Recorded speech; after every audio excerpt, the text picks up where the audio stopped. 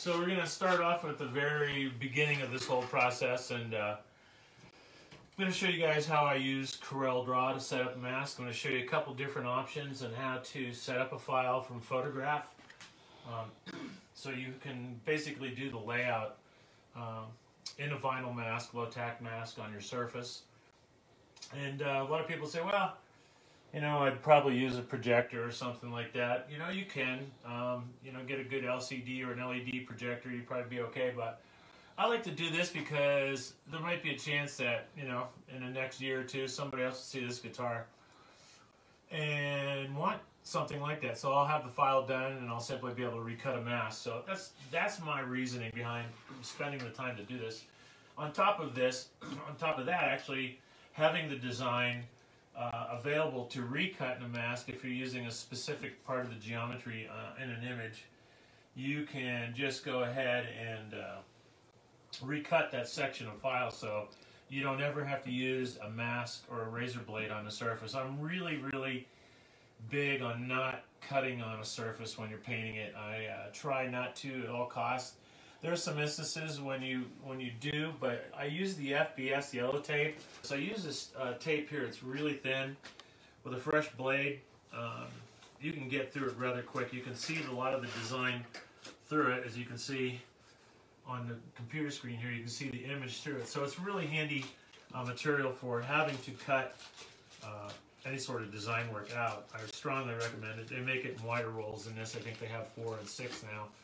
But um, so if you're not using a computer mask, um, another thing you could do to set this up is to lay tape.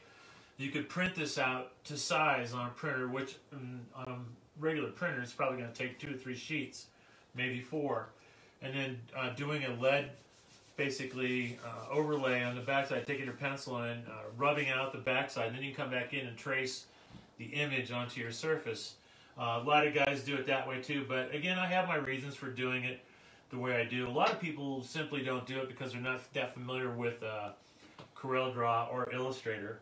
Now I have used both, but I prefer Corel Draw uh, for the most part. They're making it more and more difficult these days. Now they've got it on the cloud. I don't like having my software on the cloud. Personally, I like to have CDs. So I'm still using an X3 version, which is probably, I don't know, nine, eight, nine years old maybe. It's pretty old but it still works with the operating system I have here. I have no problems with it. Has a lot of flexibility. So let's uh, let's get into this, and I'll show you guys what I'm to do. So first one I'm to do is I'm to work on the pinhead image. You can see from my mock-up here that I have, you know, this pretty much to scale. Um, and let me check on that. So I know that this body is 12 and a half inches high. What I'll do is come down here, I'll measure a square in there. It tells me it's 11.92, so it's right on the mark. I can make it a little bit bigger. Now this graphic is going to kind of wrap around the edges, so I'm not I'm not going to tape it off or anything. I'm going to do what I need to do. So all I do is just come in here, grab this image. I'll leave the other one intact so I can have my placement. And I'm just going to go down here and focus on that. First thing you can do is say, okay, how much time do I want to spend redrawing this? What am I going to draw as the elements? I think the biggest thing that needs to be um, dealt with on this is the personally is the likeness, but secondly is all the little pins uh, around the head and the geometry and the sense of perspective that they all have. So I'm going to show you a couple different ways. One of them might be kind of lengthy and take some time, but in the end, the results will be worth it. So the first thing we're going to do is I'm going to take this image, I'm going to duplicate it one more time, and then I'm going to go in on it. And what I'm going to do is I'm going to go up here and edit the bitmap. First thing this does is it exports it to Corel Photo Paint, which is much like Adobe Photoshop. And uh, we don't need all this color to do anything at all with the vinyl machine. So what I'm going to do is I'm going to adjust a couple settings here first. I'm going to come in here I'm going to do a brightness and a contrast adjustment just to kind of see what holds, what doesn't. You can start to see immediately the darker areas around the facial features, um, they hold up really nice.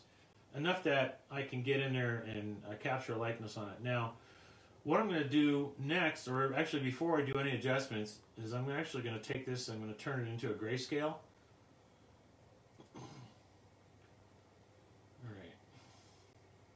I'm going to zoom in on these features, and then I'm going to come up here and I'm going to do an adjust, brightness, contrast. Now you can see instantly a lot less things to deal with because you're not dealing with the colors. Um, you can mess with these settings here to try to get as much of this in as possible. Brightness, intensity, and then uh, bring the brightness up a little bit. Let's bring the intensity up a little bit more. And the contrast we can adjust. Now right there, that's not too bad. And let's let's take a look at what happens. You can see right here in the forehead, it's going to interpret a lot of this uh, as one big black mass. So what I'm going to do is I'm going to go convert to black and white and we can kind of see what's going to happen here. Want your settings to be line art.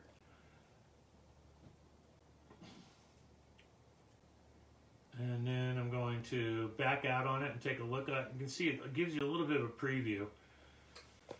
That's not too bad. But the thing that it begins to do is just over complicates a lot of this stuff with the pixelation and depending on the resolution of the image that you have. So let's do two things here so we can have a reference from both standpoints. All I'm going to do now is I'm just going to hit convert to black and white and then I'm going to save the image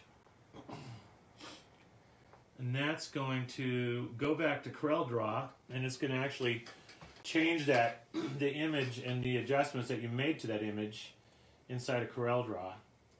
Now in Corel and also in Photoshop, and Diana will have to intervene anytime I'm, I'm mentioning uh, Photoshop and Adobe because she's uh, much more of a user on that platform than I am. You mean but Illustrator? Illustrator and Photoshop. Okay. So they have an auto trace uh, here in CorelDRAW. You can see where it says trace bitmap.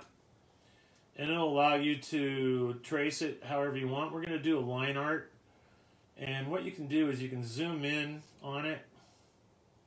I'm going to make sure I have it set for black and white right here. And it's basically two colors on there. So it's just black and white. And it looks kind of funky right now. But um, I'm going to go with it. And then what I'll do is I'll convert that to a uh, line drawing. I'll get rid of all the fill on there. And then I'm going to simply... Whoa, what the hell happened there? Uh, it disappeared. I must have crashed it. So let's do it this way. That's there. I'm just going to put a black outline on it. Took a little while for it to sample. So these are all the uh, the marks that we have. Now I could do the the needles, and I could probably get by with this as a reference, um, which I probably could and just come back in and redraw the uh, the needles. But I was really hoping to take those needles and actually um, isolate them individually. So what I can do is just come in here and start drawing one needle and go on top of the file here. And let's just start with one. And all I'm going to do is just duplicate this particular. I'm going to also work in uh, grayscale uh, view screen. We're going to go um, wireframe. and what that does is uh, allows us just to see the, the lines clear. Man, my throat is killing me today.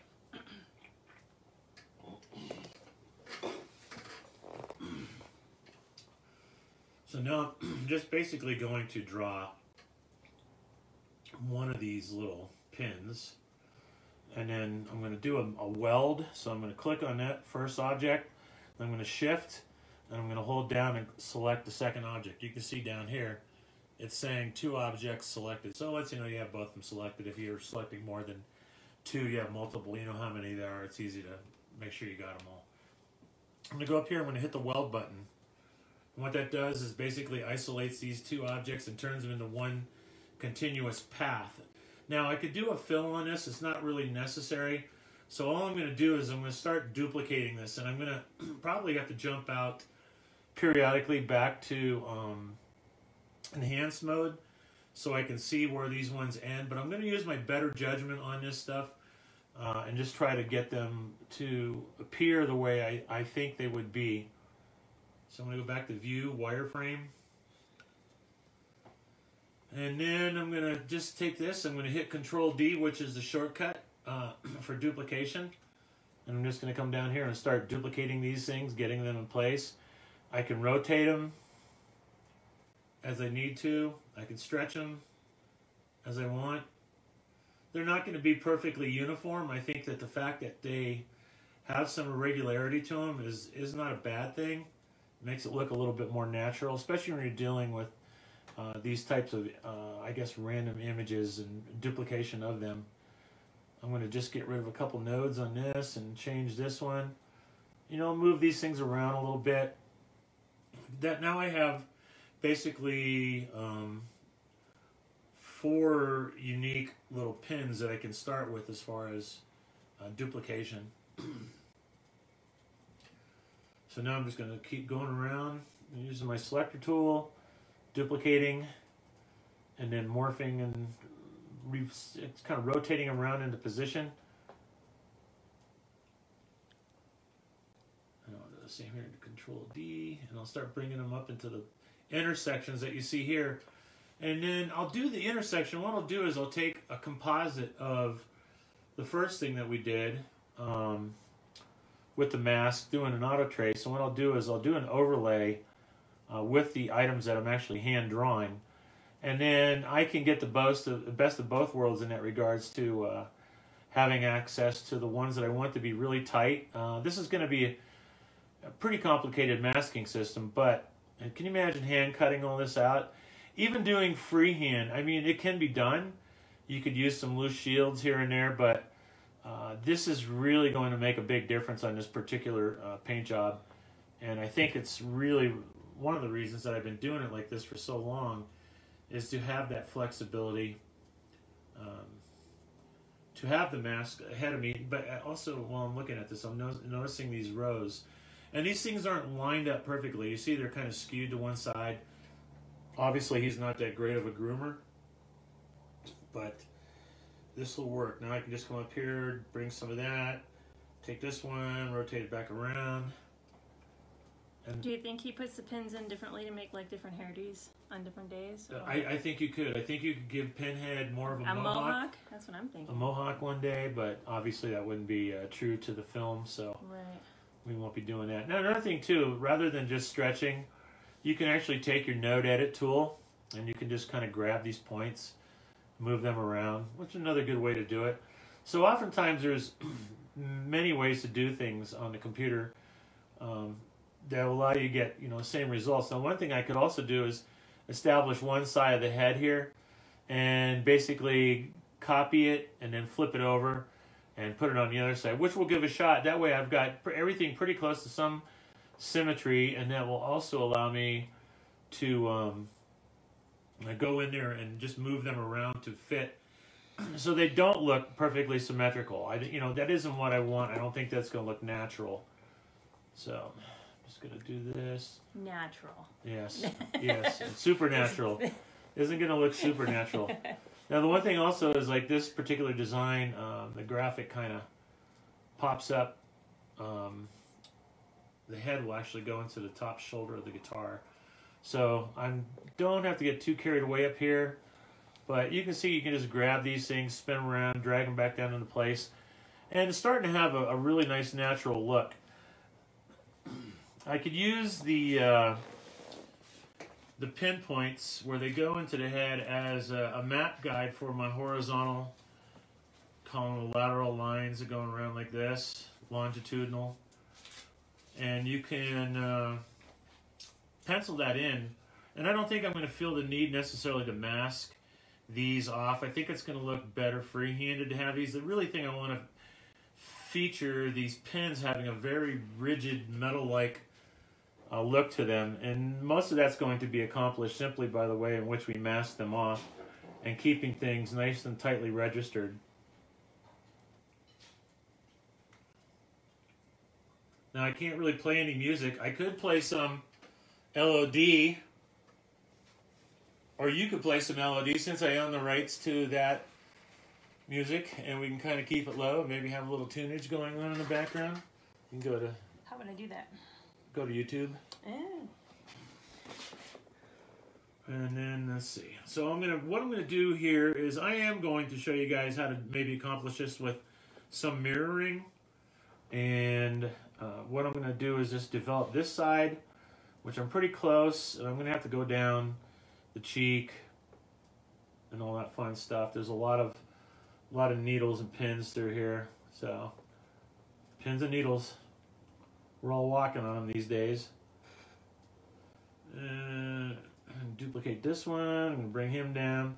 Now the photograph's been manipulated as such that a lot of the details are hard to decipher. And you'll get that in a lot of cases where people hand you like really shitty family photos and uh, they ask you to do a likeness. I'm sure uh, Airbrush Goddess could relate to that. Uh, she was just appearing on People's Court for a lack of likeness in one of her paint jobs she had done. But the customer, I mean, gave her a really crappy photo.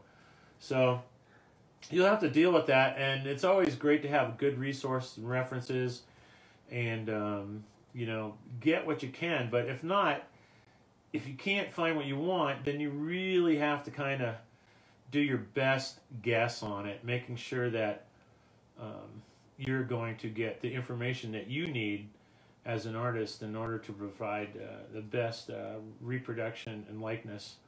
So, this being somewhat of a uh, cult character, he does require the attention.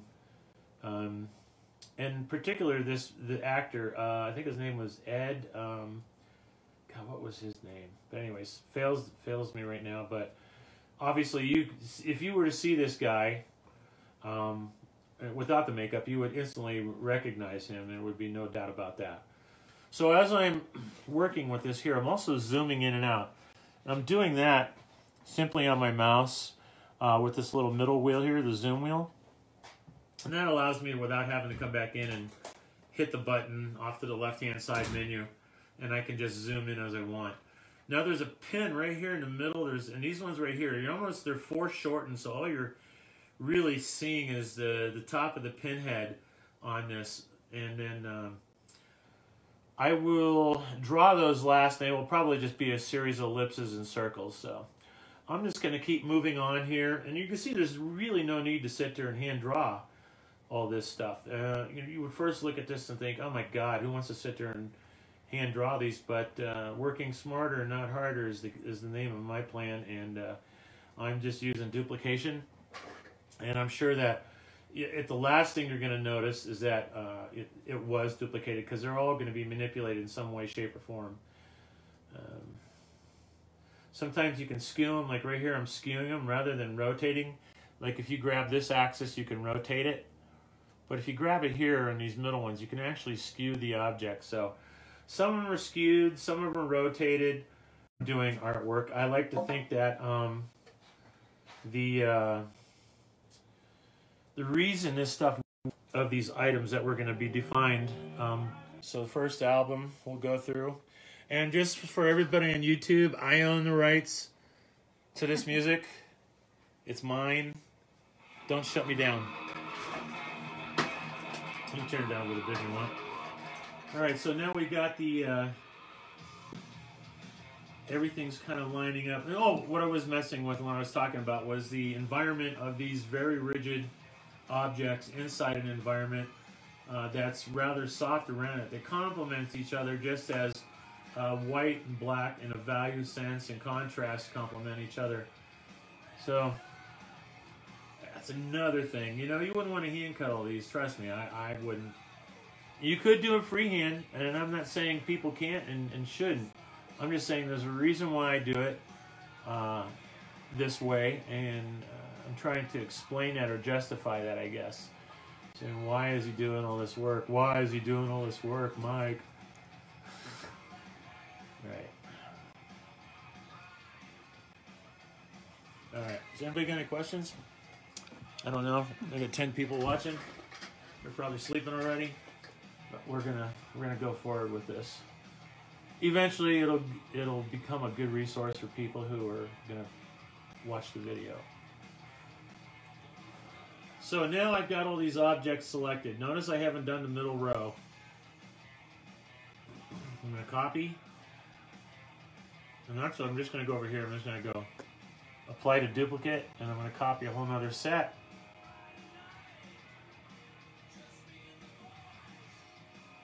And because there is a certain amount of symmetry just on the basic layout, what I'm going to do is leave those center points intact.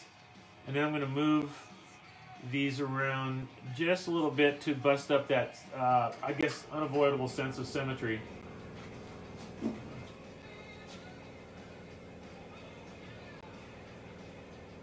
I'm just going to kind of zoom in here a little bit.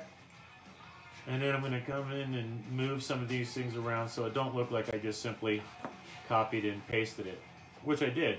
But I don't want it to look like that. So I mean, I don't want the end results of the painting to be that. But rather than sitting moving things across the, the screen to fit or accommodate uh, what I'm trying to do here, I'm just trying to maximize my time efficiently.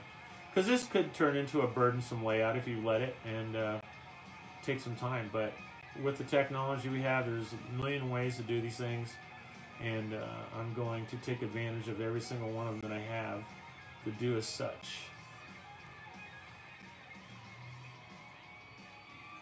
And I'm going to bring this one, duplicate it, move it over.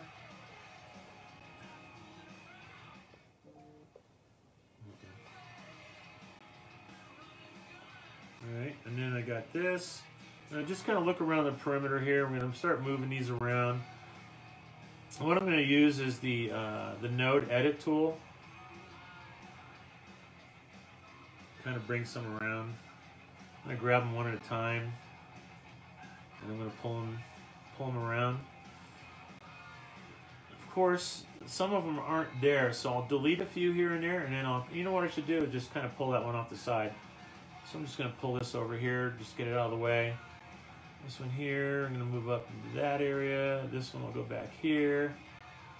And we'll rotate that and bring it into the forehead a little bit. Move this one up. Now there's a difference between your object selector, your pick tool, and then your shape tool. The shape tool I also refer to as the node selection tool. And the nodes are the points uh, along this, and I'll kind of show you. When I pick on the, uh, so that selector tool, you can see that there's little squares here. Those are called nodes, for those of you who haven't really messed with any of these uh, newfangled vector programs. And then uh, going to take this, move this one over here.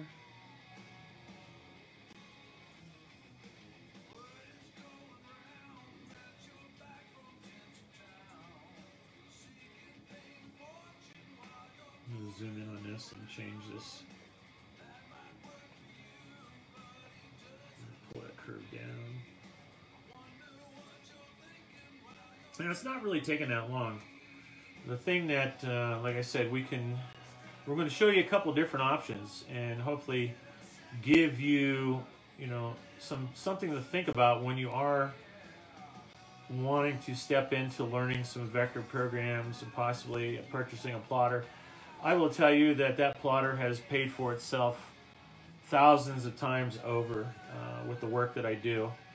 So many different ways, uh, especially, uh, you know, anything that you've got to do multiples of. When I get into Grateful Dead guitar season, it, it's it's a godsend. I'd never make any money if I didn't have that plotter. And lately, I've been using a lot of that for camo patterns and uh, stuff like that on the guns I've been painting. So it's uh, been cool for that too. You can see I'm just kind of lining these things up here. So where this intersection, this line comes across the cheek, the one comes down from the eye orbit down into the jawbone. Right there where they intersect, that's where that pin's going. So I'm making sure that I'm staying true to that particular geometry. Um, and then the needles, I'll just kind of skew. And the only points I'm really concerned about are these ones right here, where it intersects into that line. So I pull this over here like that. This will go down there.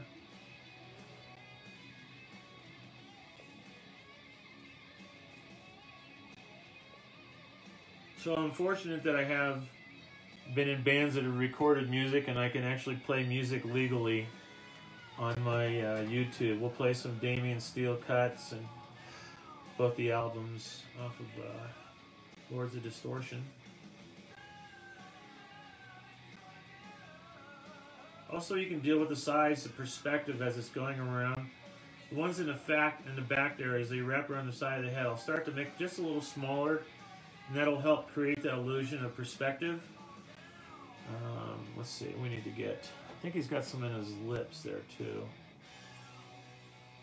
Yeah, I'm gonna move this one over just a little bit. Point right there. All right, so if I zoom back on this now, you can see what I got. Now, when I first look at this, the first thing I notice is that I have this symmetry down these two rows. I am going to change that up right now. I'm going to do what I need to do to make that all happen. And again, I mentioned earlier the top of the head kind of falls off the side of the guitar here, so I'll just go ahead and move this. I tell you, it's so nice to do these videos and not have to pay for them. It's one thing that's nice about Facebook.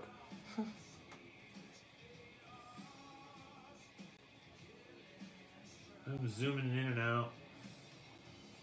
Um, those things, you know, surprisingly, they're kind of symmetrical. And I don't know if they did this.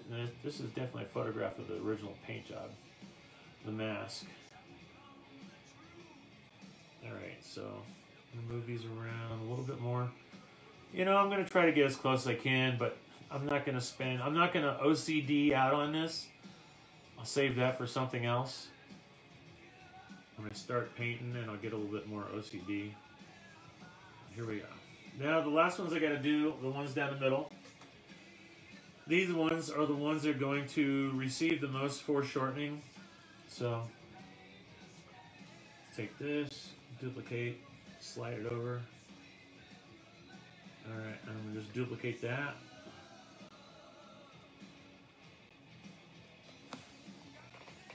Everybody sleeping yet? I wonder why he didn't go cross-eyed with those ones that are like coming out of the side of his nose. Mm -hmm. That's uh, I'm obsessing about that right now. All right, so right here I'm kind of getting into an extreme foreshortening.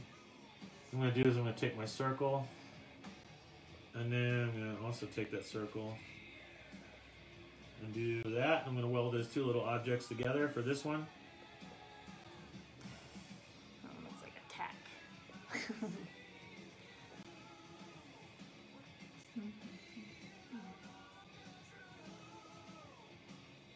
Right, yeah, it looks more like a tack than a pin.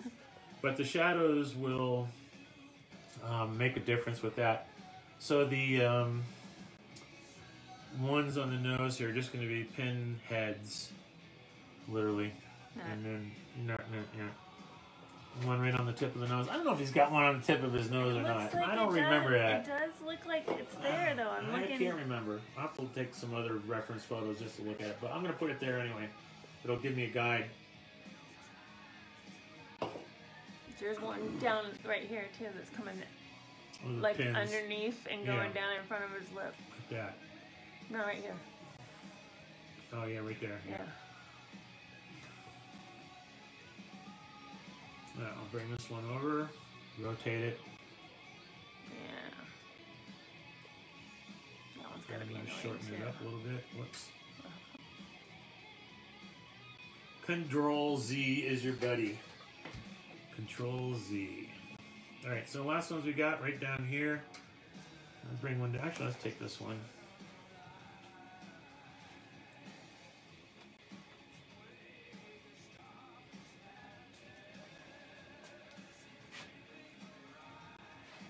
All right, so you got the one there.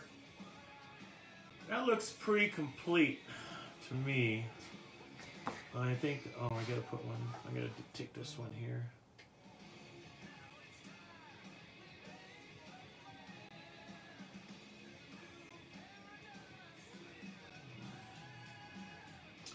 And I'm gonna bring that one over to the other side. Roughly the same place.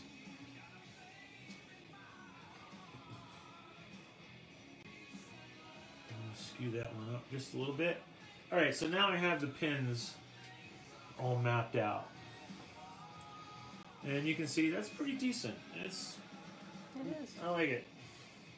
Good Oh. job. There you Oh, Scott McKay looked it up for you. He does have one on the tip of his nose. Does he? Okay, cool. All right, thanks, Scott. Appreciate that. All right, and I'm just gonna lean this one over. And I think by the time I get up to here in this area, it's all gonna be cut out anyway. All right, so now I have all this stuff done, all the pins. What I'm gonna do now is I am going to basically combine all these elements together. And I just simply come up here, hit the combine key there. And now this is all one object. I can move them all around simultaneously and have what I need at my hands. But what we're going to do here is we're going to integrate uh, some of the features here. I want to kind of see how this stuff overlays on there. Now, I, I'm already kind of looking at this thinking I don't think that's going to work for me. So, but I will show you the options and instances uh, that it could work. Now we do have quite a bit of complexity going on uh, with this particular image. It's very vague, but I guarantee you by the time you sprayed it, if we were to take this, just put a black square behind it, and then we'll take all these elements and we'll make them with a white fill. Then we'll go back out to view enhanced. Put this in the background. So you can see already, I mean, just as simply as that can be done with a trace, it's going to give you enough guidance uh, to do what you need to do. So what I'm going to do here is I'm going to take some of the centered featured elements of this facial layout and I'm going to just move them over uh, or duplicate them and then I will take all the elements of the pins and then combine the two together so I'll be using a combination of the simply traced vector and the stuff that we took the time to draw You can see I'm just eliminating these things one at a time.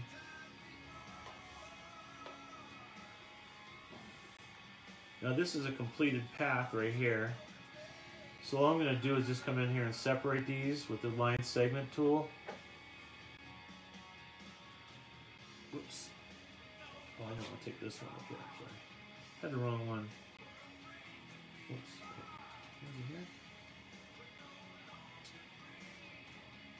Alright, I'm gonna just cut this right here. And what that'll do is break these two right in half. I'm gonna zoom in a little closer.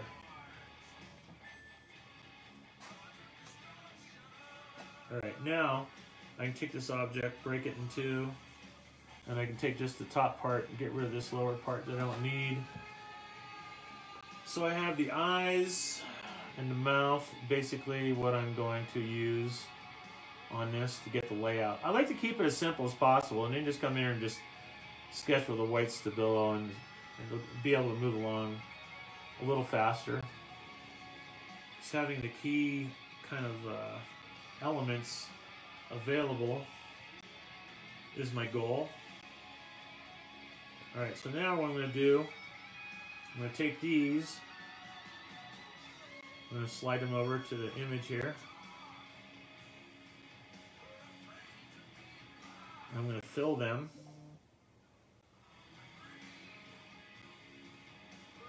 And take a look at really if it's working. I'm not really seeing enough there that's going to give me, I don't know, any real sense of resolve. So I'm just going to trash that idea and show you the second approach to this. Now I go back out to wireframe mode. And this takes a little bit more time, but it's often worth it, especially when you're dealing like with the eyes.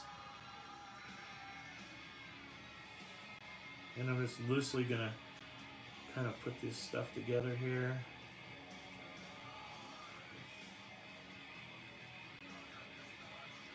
Bring in the whites of the eye, and I'm just gonna kind of Draw that around. Make sure you got closed paths when you're doing this stuff. It really helps, especially if you're going to be dealing with traps and or trying to isolate particular shapes.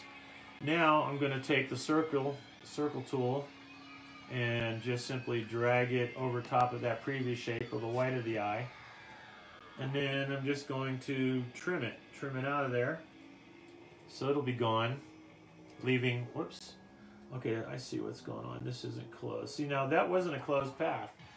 So what I want to do is make sure that this is a closed path and make sure those two ends are connected. You can see right there where they kind of bypass each other.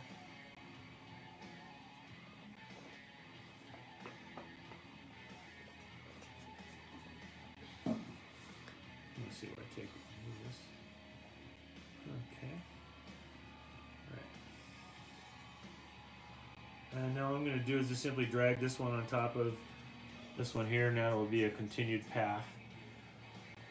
Closed path, which will allow me to cleanly uh, do a, a trim out of this here. Now, a couple of different ways you could have done that. I'll show you the other way. Uh, one of the ways you could do it is with uh, line segment tool, a virtual segment right here. And just get rid of these things one at a time. You wanted to do that, now the thing it won't do is treat this as one unified path. It's going to treat you as remnants of the circle and remnants of this uh, part of the eye, the whites of the eye. So I don't necessarily want that. And it would probably cut okay like that, but if I was doing color fills or anything like that, you got to know when you need to have a closed path and when you're, when it's not really needed. So I'll just go ahead and keep moving on. On here, what I'll do now is I'll focus on some of this darkness underneath the eye. And I'll just kind of like mask some of this in.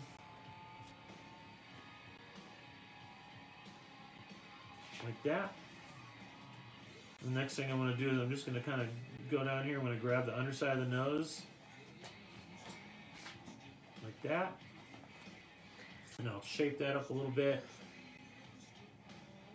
Sorry there wasn't any notice on doing this video. Was something that was a last minute thought. I hooked up the second monitor to the laptop and um, figured that would be a, a, good little intro to this because everybody always sees me working with the vinyl mask and they wonder what the hell is he doing. But anyways, uh, this is what we're going to be doing here now is we're going to take this object on the left eye and this over here now you could think well wh why don't we just mirror the left eye to the right eye now in some cases you could start like that um, but I'm just going to redraw it. I think the, quickest way you can blow a likeness is to assume that the left eye is going to look identical to the right eye but just mirrored. Uh, inherently people have you know different lighting on their faces and uh, shapes are slightly different and skewed and I guess in the end that's what makes people look different because their eyes aren't symmetrical pull no, that mine one of course that's Marty Feldman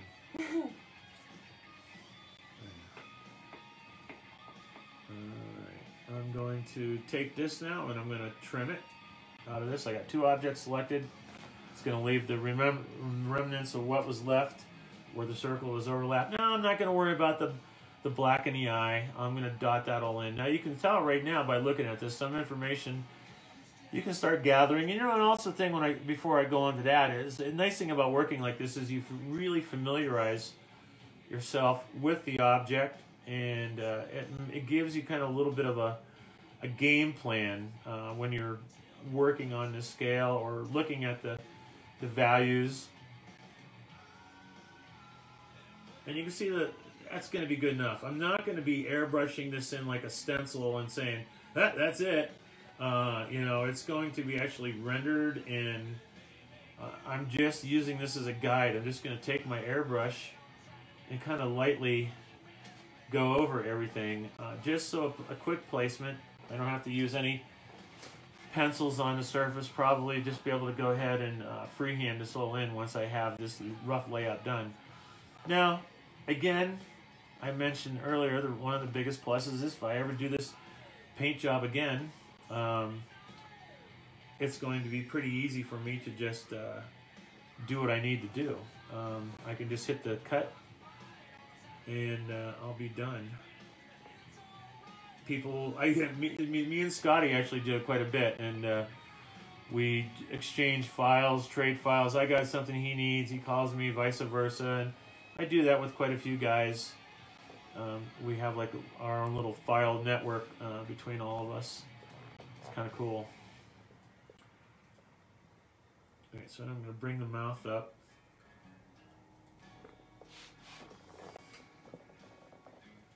And you can actually really see um, the way that this contrast adjustment and auto trace manipulate and, and deviate from really what you think you see or what's there. Um, for example, I think that the teeth weren't exactly traced all that well, so I'm going to go ahead and just get rid of that section there. I'm going to get rid of all this because I already have that.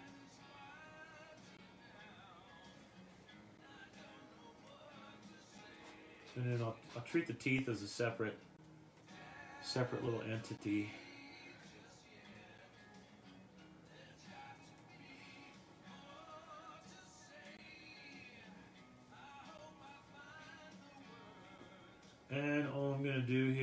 Draw a little quick arc around here.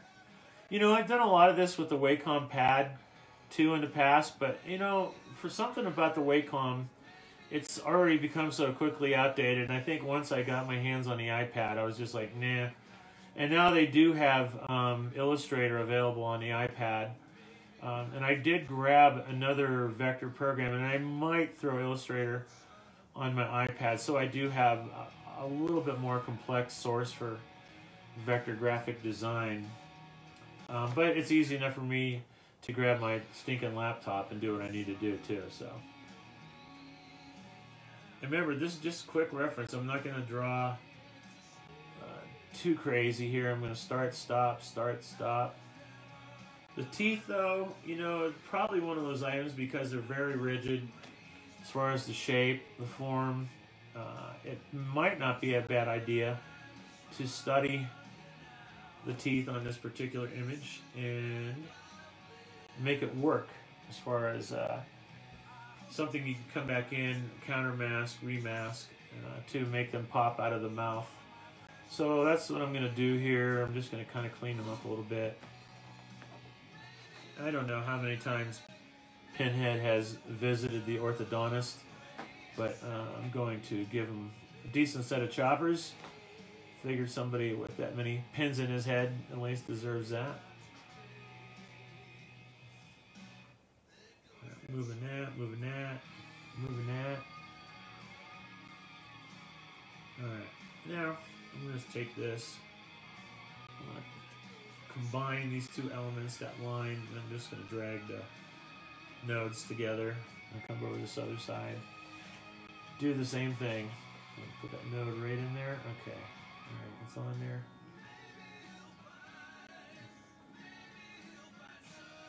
Alright. It's harder to see on my laptop than it is on that monitor. It's actually pretty decent there. Alright, so there it is. I think I've got the head pretty well resourced as far as the uh, elements that I need. The one last thing that I think I should focus on is the perimeter around the head and also uh, coming off the shoulders and down to the neck. So I'm going to take all this stuff here and I'm just going to group it just so it stays together.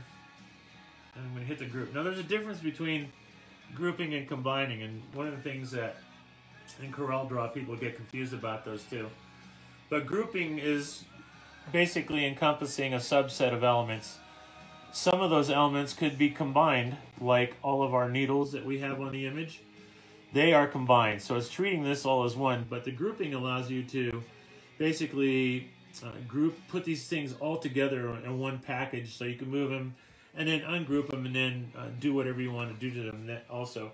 And inside the grouping in CorelDRAW, you can also do a, a control select and also grab a particular element of that group set and move that around. So there's a couple ways to actually still get around that whole grouping thing. So I'm going to zoom back in on this here.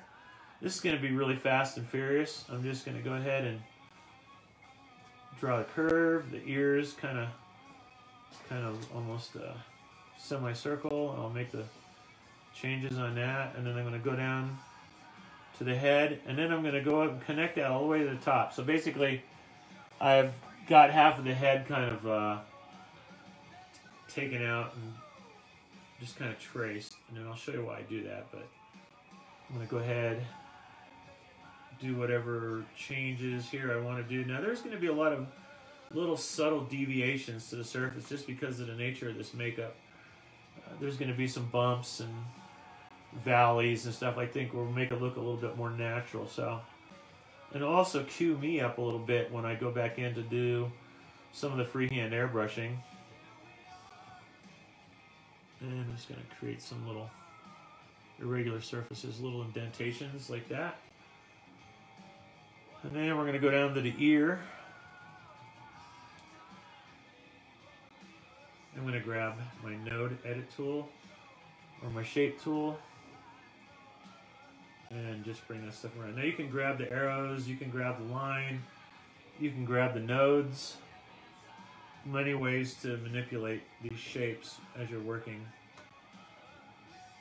And I'm going to go ahead and bring that down there.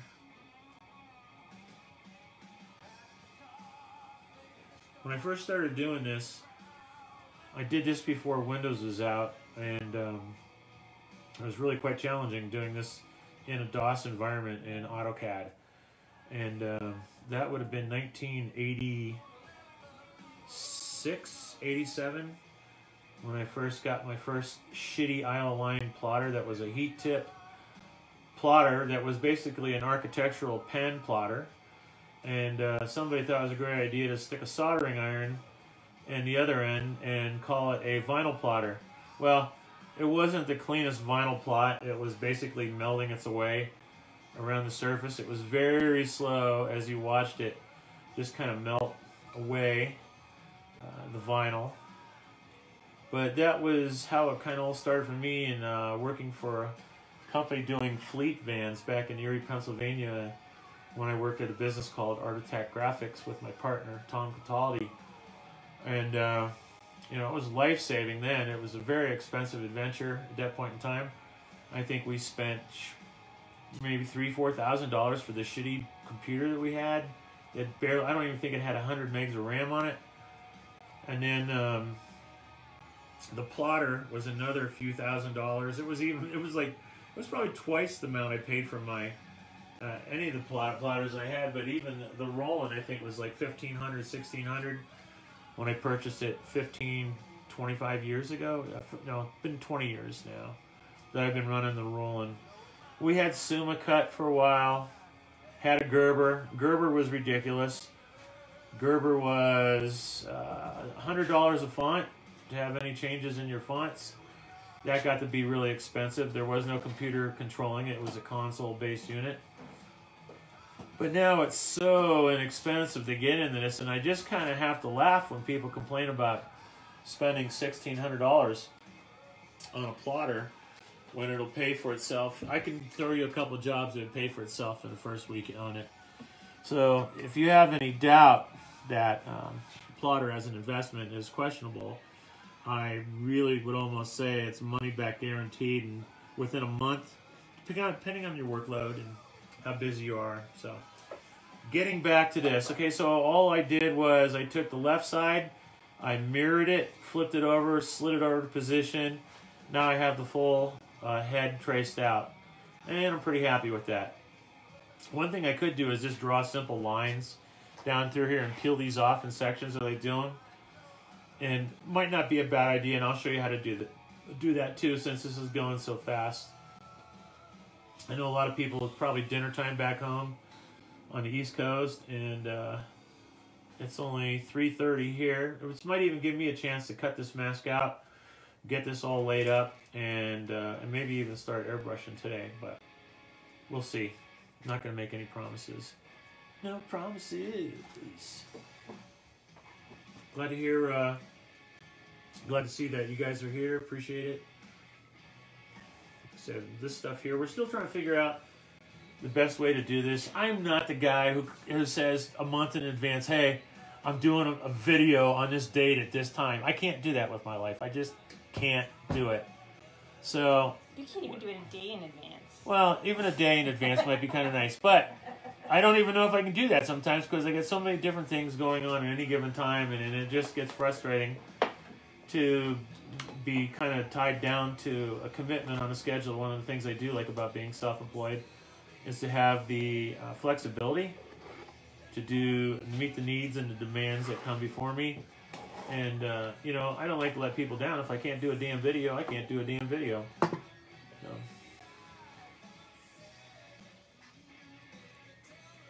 All right, so there's a couple overlaps in here. I'll show you how to get rid of these. Now these lines I just drew aren't single paths. I'm just going to go in here and get this line segmentation tool and pop out these overlaps. So I can grab these pins and needles uh, individually where these items are crossed over with this perimeter along the jawline here and the coat area. Virtual segment tool, boom, didn't want to do that, but when I come back in here, zoom in a little tighter maybe.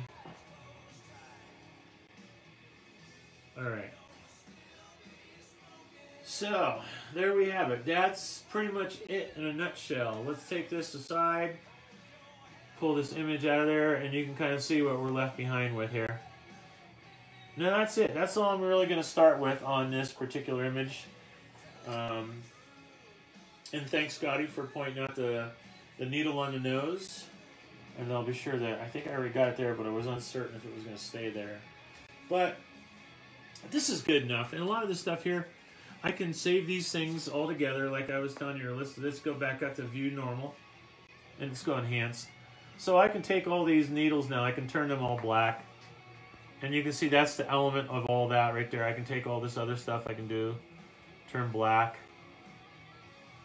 And then the nose isn't going to be turning black. So that's basically what I'm going to be working with on this particular mask. So I hope that half hour or whatever it was that uh, we got into this helps out. What do we have? 30 minutes maybe into this? I didn't really pay attention, but we'll put it up on YouTube and log it so that it's available to uh, watch anytime you need. Yep. I'll also link it somewhere on the website. Can you can you export from Yes, Facebook? absolutely. Oh, okay. yeah. But we are going to be doing some live feeds. Maybe when we do the airbrushing, we'll do some live on this tomorrow. Um, I'm going to get the mask cut. I'm going to get them set up and get everything ready. So tomorrow we can do a live feed in the morning and airbrush the hell out of this thing. And um, you guys can see how to use the mask, how to peel out, making decisions as to what gets peeled out first, where do you start, what do you leave on, all that fun shit. So um, let's do this though before we, we wrap it up. I'm just going to control Z to get back. Okay, so now we talked about this earlier. This is kind of a cool little feature. I'm going to go back out to wireframe mode. And I'm going to hit Alt Z, which is basically going to create a snap. And what it's going to do is it's going to snap my line. See how it's wanting to put it into position. Right there, it's telling me that it's going to go to a node. It would go to an edge, a midpoint on that line. It's a very intuitive program and has a lot of power. So this is, I'm going to start here. And all I'm doing is click, stop, click, stop, click, stop, click, stop, click, stop, click, stop. I'm going to do that all the way around here. So I'm to, what I'm going to do is I'm going to develop a grid system based upon the placement of the pins.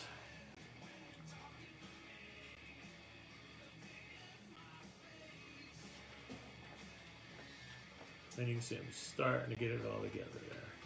It's coming together, man. Hope everybody's avoiding the COVID. My neighbors uh, are down with it right now. My immediate next door neighbors, and their cat likes to come over and hang out with me. So I've had to like keep keep the cat out of the shop. Thing we want is COVID for the holidays. So hope everybody's staying safe out there. All right. So you can see how this is kind of working out here. And I'm mapping it out based upon the placement of the pins. And now I'm going to start to do the lateral lines.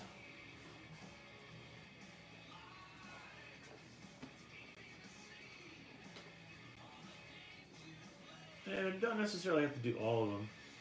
You know, do as much as you feel like.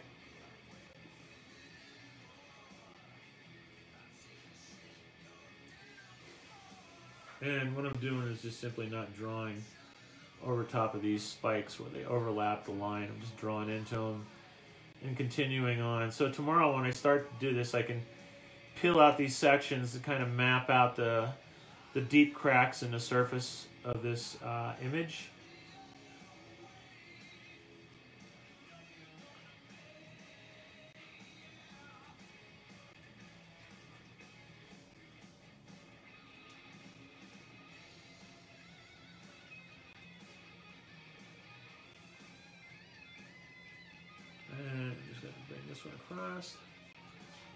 To here. Bring that to that edge. Bring it up to that. You guys will be sick of my music after a while, but uh, been listening to a lot more music these days and AM radio. Been using a lot of the Pandora and uh, strangely, I think I mentioned it last week in a post. Uh, Testament I discovered Testament. I mean, I've heard them before, never really paid that much attention. Quite honestly, I wasn't really a huge thrash metal guy. I know, hard to believe, right? But um, I just, I don't know, wasn't ever really into it. Metallica, Megadeth, um, I don't know, Slayer kind of turned me off, and then I started to think that all these bands sounded like Slayer after a while, but uh, Testament actually is a quite talented band. Uh, instrumentally, it's really good stuff. So I've been listening a lot of that. King Diamond. I think I'll listen to a lot of King Diamond um, at some point during this paint job, which means I won't be able to televize unless they call up King Diamond, which I know is bass player. I could call him up and say, hey man, could you get the King to give me permission? Diana would hate that because she doesn't like King Diamond, but um, she's not painting, so. Right. All right. And the last one I'm going to do here, probably just going across the forehead.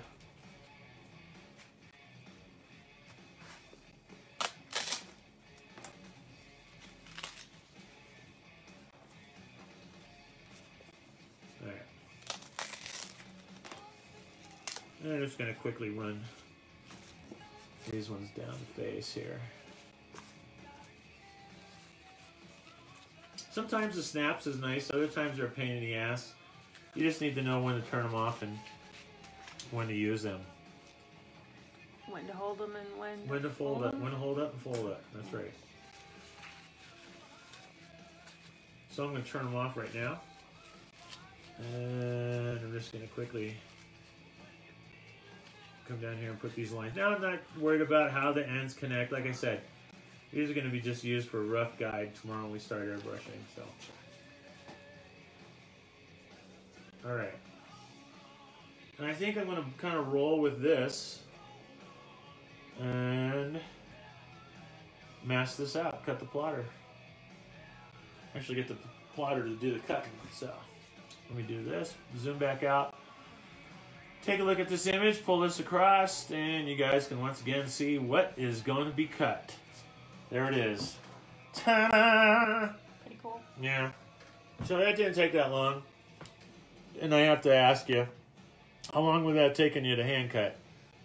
Or even setting up the damn overhead projector just to get that happening it would take you probably half the time that it took me to actually draw it. So that's again the thing I really want to emphasize is that if I had to do Pinhead again, or if Scott McKay calls me up and says, "Hey, Mike, do you still have that Pinhead file?" Then I have that file. You know, Nub Nub has my fingerprints. We have a couple of we've shared vectors throughout the years, so that's kind of a nice thing. I did this, blah blah blah. It's done. You can always do it again. So I'm gonna go ahead and cut the vinyl. We're gonna wrap this video up for the day, and uh, we'll see you guys tomorrow morning.